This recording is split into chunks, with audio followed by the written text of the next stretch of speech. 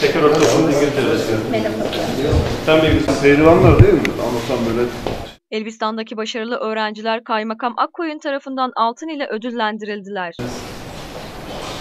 evet burada TEOK sınavında 120 sorunun tamamına doğru cevap veren Şeker Ortaokulu öğrencileri Cansu Özen, Tuğba Öztürk, Muhammed Yurttaş ve Durdu Mehmet Küçük Devlet ile Adıyaman'da yapılan okullar arası güreş müsabakalarında dereceye girerek Kahramanmaraş'ı Yalova'da yapılacak finallerde temsil etme hakkı kazanan öğrenciler, Paşahan Sarı, Furkan Çalı ve Hikmet Kılınç Milli Eğitim Müdürü Kürşat Bayazıt, okul öğrencileri ve öğretmenleri ile birlikte Kaymakam Tuncay Akkoyun'u ziyaret ederek başarılarını paylaştılar. Öğretmenlerimizin sayesinde oldu. Bize düzenli olarak kurslara geldim. Evde düzenli olarak çalışınca başarılı oldum.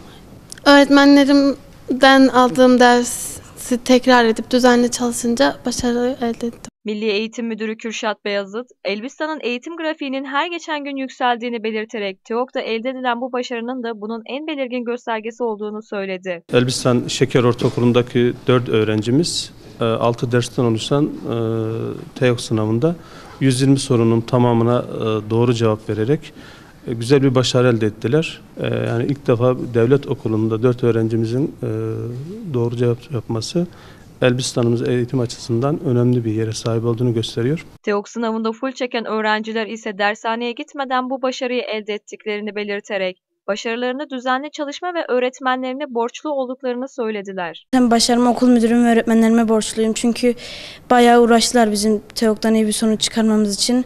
Ve sonrasında okulda gördüğüm konuları tekrar etme, bayağı soru çözme, yani bayağı soru çözüyorduk. O yüzden başarılı olduğumuzu düşünüyorum. Elbistan'da 3 öğrenci de spor alanında derece yaptı. İlçede birinci oldum. İlde iki. Ee, Adıyaman'da da üçüncü olarak başarı elde ettim. Adıyaman'da üç- ikinci oldum. Türkiye'de de şampiyon olmayı hedefliyorum. İl seçmesinde ikinci oldum.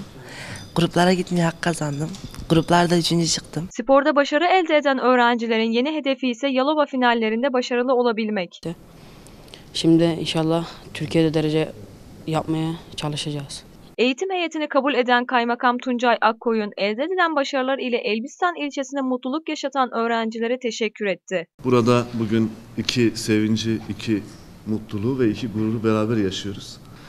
Ee, burada hem derslerde başarılı olanlar hem sporda başarılı olanları aynı anda misafir ediyoruz. Akkoyun, başarı yakalayan öğrencilerin dershaneye gitmeden okullarında verilen eğitimlerle başarıyı yakalamış olmalarının ayrı bir mutluluk olduğunu söyledi. Bu e, TEOK sınavında başarılı olan kardeşlerimizin e, yetiştirilmesinde büyük emekleri olan e, idarecilerimiz başta olmak üzere Milli Eğitim Müdürlüğümüz e, koordinesinde emeği geçen bütün öğretmenlerimize, idarecilerimize ben teşekkür ediyorum, şükranlarımı sunuyorum. Spor alanındaki başarıya da değinen Akkoyun, sporcu öğrencileri kutlayıp başarı dileğinde bulundu.